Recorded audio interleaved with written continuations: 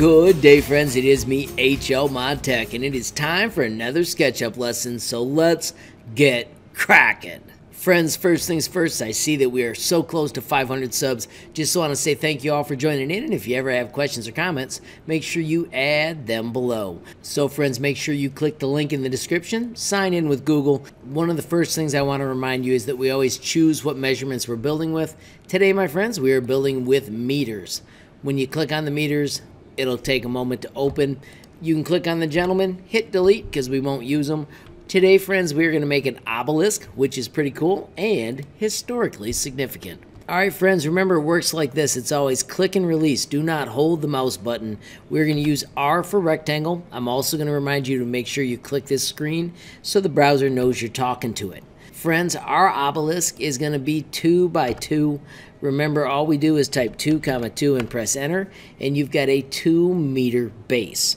If we do Shift Z, it will zoom to that exact size. If we hit over orbit, we can drag so we can see it from a little bit of an angle. Now remember, as you build, always click this tab when you go between the movies. I've seen students in class trying to do shortcuts when they were still on the movie tab. Always make sure you're in this tab so you can build. Our next command is P for push-pull. Click and let go, raise it up a little bit. Friends, since it's 2 meters wide, let's try 20 meters high.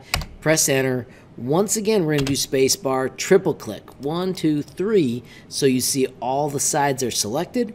And let's do Shift Z to zoom and see our awesome obelisk. Now, friends, we want to click somewhere else, do O for orbit, and look at the top of this.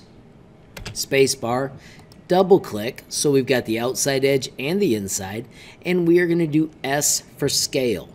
When you click scale it is in the normal scale mode where we can just pull one. We don't want to do that though. We want to pull around the center. So we tap control and you'll note that red dot shows up. When you click and let go, make it a little smaller, and I'm going to tell you the number we want to type is 0.55 and press enter. Remember, you just type. You don't have to click anywhere, and it automatically shows up in the little box. When you press enter, you'll see we've got this awesome shape created. Now let's figure out the top of our obelisk. We're going to switch from the tape measure to the dimension tool. And I want you to find the dimensions of this shape. So you can see that is 1.1 meters. And since it's square, this will be 1.1 meters as well. So friends, we need to move across this shape and half of 1.1 is 0.55. Type 0.55 and press enter and you will have a line in the exact middle of your shape.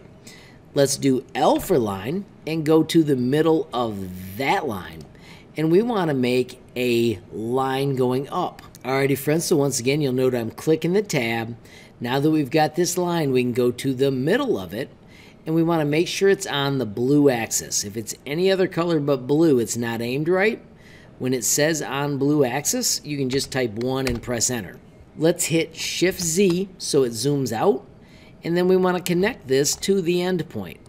Let's hit O to orbit. I'm going to do hand so I can drag, and once I've got it aligned super easy, I'm going to go across this corner and I'm going to go back up to this shape.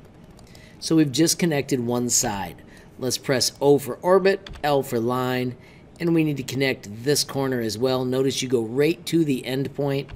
O for orbit, L for line, and we're going to connect this one as well. We have just made an amazing obelisk.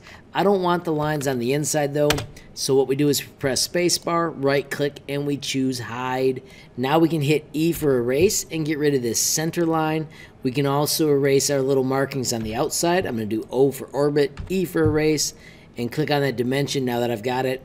Back to O for orbit, spacebar. Let's get rid of this center chunk. So now our object is completely hollow. One more erase to get rid of this guideline. And then finally we can come over to the glasses and we can do unhide all. Friends, you've just made an epic obelisk. Now it's time to give it cool colors. Click on your materials.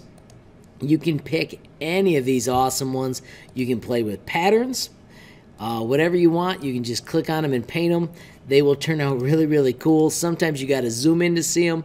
I'm going to actually switch to mirror and glass for a second. So now it's hollow. And then my final idea, I'm going to do Control A to grab it all.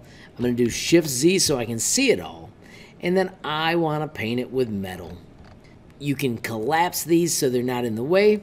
Here's my metal choices. And friends, I'm going to make the whole thing a cool silver. And then on the top, I'm going to do O for orbit, spacebar to just click the top pieces. And these were usually gold. So I'm going to paint them with this gold color. There's my cool gold and O for orbit. You can push in your scroll wheel to orbit as well. And friends, you have just made an awesome obelisk while you also practice skills in SketchUp. Make sure you hit save so you don't lose it. If you're in my classroom, make sure you call me over and show me how cool your obelisk turned out. Friends, I hope you had a ton of fun, and of course, if you did, please give the video a like. Please also hit that share button so more people can learn about SketchUp Made Simple. Of course, if you got a question, comment, or suggestion, add it down below, and if you haven't subscribed yet, what are you waiting for? Smash that subscribe button, and last but not least, hit that notification bell if you want to be the first to know when there's a brand new video from me. HL Mod Tech. Thanks for watching. Have a great day.